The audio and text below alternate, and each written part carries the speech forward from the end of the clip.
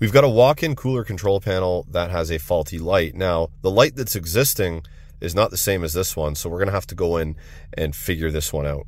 So here's the panel for the walk-in box. We got two systems, that's why we have two controllers. We got some alarm lights and operating lights here.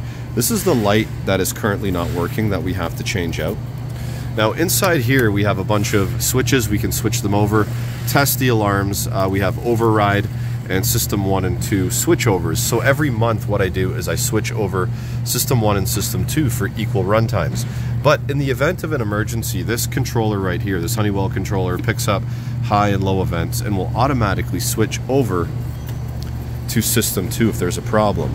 So right now let me show you this light here. We're going to take our meter, we're going to put the meter leads in here we're going to override system 2, which should bring that light on, give us voltage, but that light is inoperable, so I'll show you right now. So I have overridden system 2. There's our voltage. There's our meter leads inside the light socket terminals. Voltage present, but our light is not operating. So we're going to change this light out. So one thing here is this light existing and this light they're two different manufacturers. So we're gonna have to figure out how to get this thing in and wire it up using these pieces here. So here's the original setup, the light and the nut. This one's, uh, the new one's Schneider Electric. It's a little bit different. So obviously we're gonna have to slide that into the panel and put the label on. And then this piece here,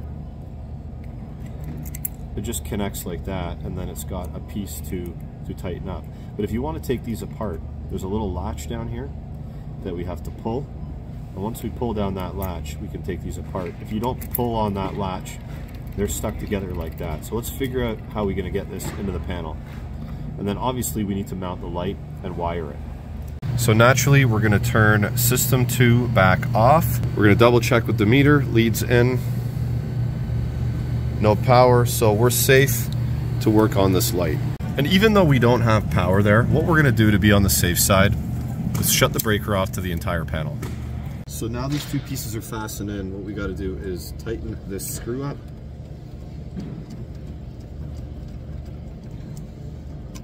So now it's nice and tight on the other side.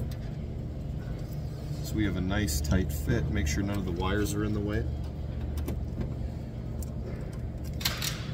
So that's a nice tight fit right there.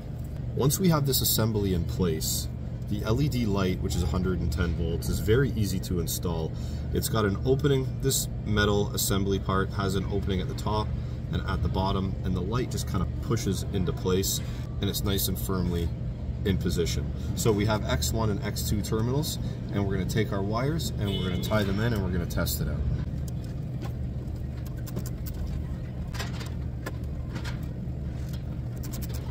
So system one is still on, but we've overridden system two to test this light out.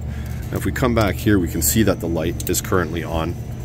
If we go to the front, that light is now working.